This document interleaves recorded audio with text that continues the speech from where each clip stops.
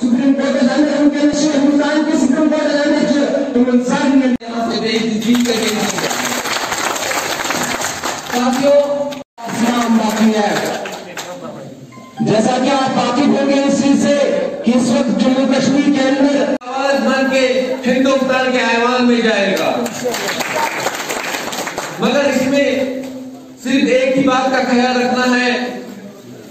देख रहे हो? बंगाल ने हमारे लोग ने उसमें कोई छोटे छोटे लोग मिले। हमारे एग्जीक्यूटिव इंजीनियर साहब हमारे तहसीलदार साहब हमारे मुहिम जारी कर दी देखो कि जैसे कि जानते हैं आप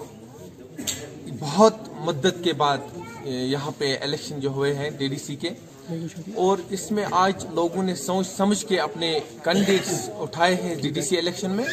और हम भी इसीलिए यहाँ पे टंगबर कॉन्स्टिट्यूंसी में आए और जिसको हमने नुमाइंदा चुना है यहाँ पे कि वो आदिल नजीर शेख साहब हैं और खान साहब है सॉरी तो इसको हम, मैंने, हमने अपने जितने भी वर्कर्स हैं, अपने अहदेदार हैं, उनको हमने यही अपील की आदिल साहब को बारी अक्सर से कामयाब करके उस ऐवान में भेजें। जिस ऐवान में इस टंगवर कॉन्स्टिट्यूंसी का मुस्तकबिल का फैसला करें, यहाँ के यूथ जो है, जिनके, जो इनके से वादे किए गए बड़े बड़े सियासतदान ने वादे किए हैं, और उन्होंने इनको आज तक सत्तर साल से ये धोखा देते आ रहे हैं, जिन्होंने आज वो अपना रुख चेंज किया, जो भारतीय जनता पार्टी के नाम से एक दूसरा नाम रखा, जिसका नाम अपनी पार्टी है। वही सियासतदान ये है जो इससे पहले भी ऐवान में थे, अभी तक जो हमारे, अभी तक हमारे जवानों का मुस्तकबिल का फैसला नहीं हो पाया और हमें उम्मीद है आज लोग सोच समझ के अपने